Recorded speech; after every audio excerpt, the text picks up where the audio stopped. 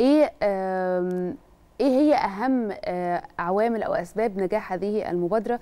بما ان إحنا بنتكلم عن تخريج اول دفعة يعني كلمينا المبادرة دي عملت إيه مع الشباب؟ أهلتهم لإيه؟ ساعدتهم في إيه؟ طيب مبادرة المراكز المجتمعية الرقمية دي بالتعاون مع مم. آه، منظمة من المنظمات آه، معالي الوزير دكتور أشرف صبحي افتتح المراكز المجتمعية في عام 2023 ثمان مراكز مجتمعية في محافظة القاهرة والجيزة والقليوبية.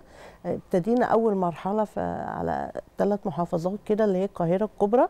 كل سنة إن شاء الله هنكمل المشروع لحد ثلاث سنين هنزود عدد المحافظات. المراكز المجتمعية دي يا فندم بتبقى داخل داخل مراكز, مراكز الشباب, الشباب. آه آه، ال- الجهة اللي معانا يمكن إحنا كوزارة الشباب والرياضة ودكتور أشرف صبحي بيهتم بالشراكة مع المؤسسات والمنظمات وال- والوزارات الحكومية عشان يبقى فيه تشابك وإن المشروع يطلع في الآخر آه، ناجح للشباب ونفيد أكبر عدد من الشباب. المراكز المجتمعية دي آه، تم تأسيسها جوه ثمان مراكز شباب في القاهرة الكبرى. المركز بيحتوي على أجهزة كمبيوتر آه، أجهزة حاسب آلي آه، حديثة آه، شبكات إنترنت الشباب بيتم تدريبه فيها داخل ال- المعامل. يمكن في شباب في البيت ما عندهمش شبكات إنترنت والتدريب بيبقى عالي ووقت كبير. فإحنا بنتيح لهم جوه مراكز الشباب إن في شبكات إنترنت داخل المراكز الرقمية المجتمعية. بياخد التدريب جواها وتدريب ال- التدريب الكورسات دي بتبقى على منصه كورسيرا العالميه.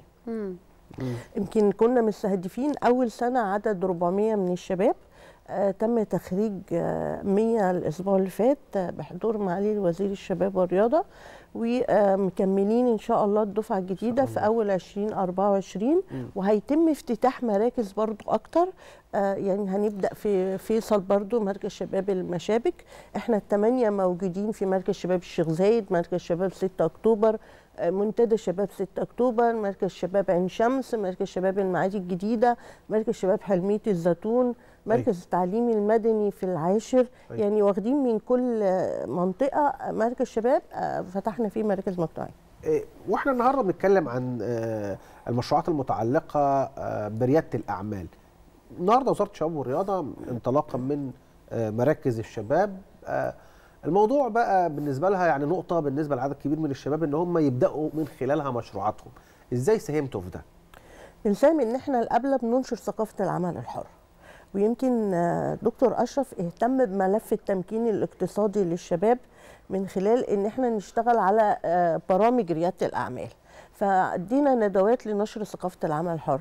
بعديها ادينا برامج في ريادة الأعمال مثل برامج ابدأ مشروعك بالتعاون مع جهاز تنميه المشروعات الصغيرة والمتوسطة. وبعدين بندي برامج إزاي يكون رائد أعمال مبدع. بندربه ونأهله ونوصله لمرحلة ما قبل الاحتضان. حاليا معالي الوزير هيفتتح حاضنة ريادة أعمال في مركز شباب مدينة نصر ودي هتبقى أول حاضنة حكومية آه، بالتعاون مع أكاديمية البحث العلمي يعني بتساعد بتمويل الحاضنة وهتبقى جوه مراكز شباب يعني أول آه، حاضنة تبقى داخل مراكز شباب. يمكن إحنا كوزارة الشباب وفي فترة إنجازات دكتور أشرف صبحي اهتم إن مراكز الشباب تبقى مراكز مجتمعية. ما يبقاش الشاب داخل عشان يلعب أو ملعب أو كورة لا ده الشاب بيخش كمان ياخد تدريبات تأهله لسوق العمل بياخد تدريبات بياخد أنشطة بياخد برامج بياخد بينفذ المبادرة بتاعته جوه مراكز الشباب بندي مبادرات مجتمعية جوه مراكز الشباب. مركز الشباب جواه أندية سكان أندية فتاوى مرأة بيبقى جواه أندية أخرى. يمكن برضو معالي الوزير وقع بروتوكول مع منظمة الفاو عشان نفتتح أندية زراعية جوه مراكز الشباب.